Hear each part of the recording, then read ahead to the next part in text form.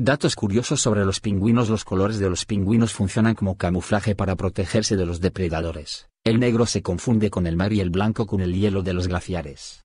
En algunas especies el pingüino macho es el que incuba el huevo mientras que la hembra va a cazar por varias semanas. La especie de mayor tamaño es el pingüino emperador, que llega a medir 1.1 metros.